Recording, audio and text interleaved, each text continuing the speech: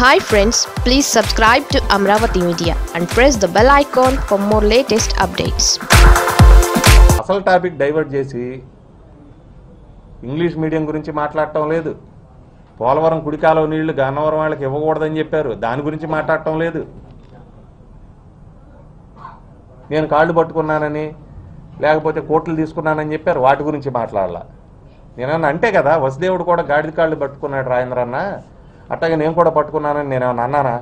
లేకపోతే నేనన్నా చిదంబరం కాళ్ళు పట్టుకున్నానా చీకట్లో? నేను ఎవడ కాళ్ళు పట్టుకున్నానంటావు? నేను గౌరవంగా నమస్కారం పెట్టా నేను చెబుతున్నా. చంద్రబాబు నాయుడు గారు పెట్టా. తప్పే ఉంది. కుటుంబ పెద్దలు అంటాడు నా తండ్రి అంటాడు పెట్టా. మీరందరూ పెట్టలేదా? మీరందరూ పెట్టడం లేదా?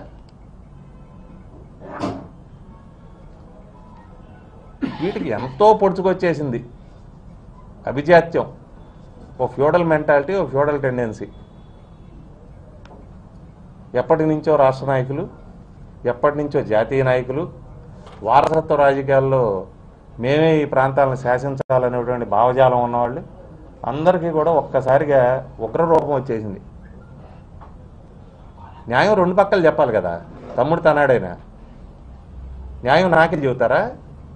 అయ్యప్ప మాల్లో ఉన్నాడు నువ్వెందుకు తిట్టావు వంశీ అంటున్నారు. అయ్యప్ప మాల్లో ఉన్నాడు నువ్వెందుకు తిట్టావు రాజేంద్ర అని రాజేంద్రని ఎందుకు అడగరు? రాజేంద్రను కూడా అడగాలి కదా. వాహిని వారి పెద్ద మనుషులు ఎవరన్నా ఎవరన్నా అడిగారు ఆయన్ని? ఈ వాహిని వారి పెద్ద మనుషులు ఎవరైనా రాజేందర్ని రాజేంద్ర పోనీ ఆడు చిన్నపిల్లాడు అనుకో ఆడేదో ఎమోషనల్గా గబాలు మాట్లాడాడు వాడు తప్పే. నువ్వెందుకు మాట్లాడావు రాజేంద్ర? అసలు నువ్వు ఎప్పుడో రాష్ట్ర నాయకుడివి కదా నువ్వు రాజకీయాల్లో రాకముందే నువ్వు చాలా గొప్ప నాయకుడివి. నువ్వు మాట్లాడటం ఏంటి? మద్య నిషేధం మీద పోరాటం చేసినటువంటి ఇది నువ్వు? అని ఎవరిని అడిగారా? ఎవరు అడగరు? అట్లా ఇంకొక ఆయన అంటాడు నేను లోకేష్ బాబుని అన్న అనేవాడిని అంట. నేను అన్న అని ఇప్పుడు అనలా.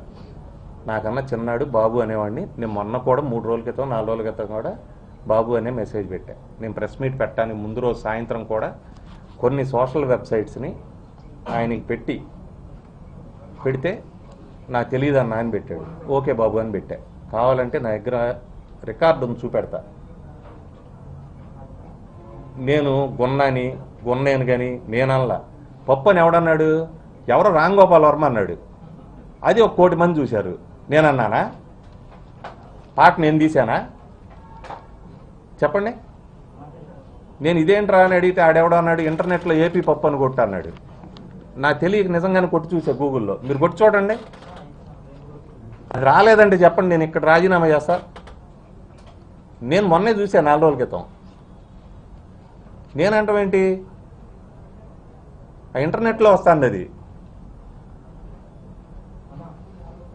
కాబట్టి ఎవరో రామ్ గోపాల్ వర్మ అంటే ఆడు కనపడ్డు కాబట్టి బొంబాయిలో ఉంటాడు కాబట్టి ఆయన ఏం చేయలేక మళ్ళీ ఆడు ఇంకేం చేస్తాడో నా మీద మళ్ళీ నా ఏం చూపెడతాడో చెరుకు రసం తీగా ఉందని ఉందేంటని అడిగినట్టు చూపెడతాడనో పాలు తీగా ఉన్నాయని పెడతాడనో లేదా పప్పు వేసినట్టు చూపెడతాడనో రామ్ గోపాల్ వర్మని ఏం చేయలేక నన్ను అంటారేంటి? నేను చిన్నాయని కదా నేనేం చెన్నై సూరి దగ్గర చదువుకోవాలా ఆదిపట్ల నారాయణ దాస్ దగ్గర మీలాగా శిష్యరకాలు చేయలే? మీరందరూ చాలా ఉద్దండులు. చక్కగా చెన్నై సూరి దగ్గర వ్యాకరణం నేర్చుకున్నారు ఆదిపట్ల నారాయణ దాస్ గారి దగ్గర. ఆయన పితామహుడు దేనికో తెలుసు. చక్కగా చెబుతున్నారు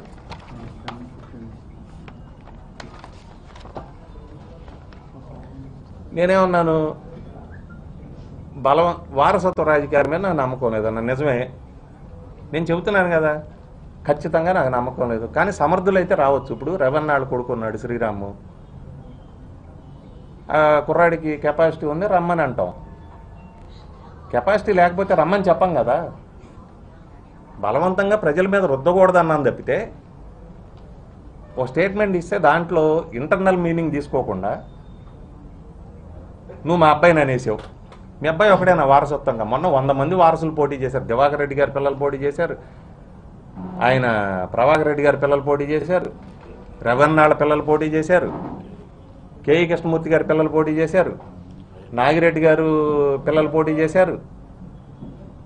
అయ్యన్న పాత్రుడి గారి అబ్బాయి పోటీ చేశాడో లేదో నాకు తెలీదు. ఎర్రనాయుడు గారి పిల్లలు పోటీ చేశారు. ఎంతోమంది పోటీ చేశారు. ఇందులో నేను ఎట్లా చెప్పగలుగుతాను? అసలు వీళ్ళందరూ ఎవరు పనికిరారని? నేను అన్నానా? నేను అనగానే భుజం ఎందుకు తడుముకుంటున్నారు మీరు? మా అబ్బాయినే అన్నాడని. అన్న రాంగోపాలమ్మ గారిని వదిలేశారు. మీకు అనుంటే ఉంటే ఆడి మీద ఆడికి నోటీస్ ఇవ్వండి ఆడిని పట్టుకోండి ఎక్కడున్నాడా రామ్ గోపాల్ వర్మ?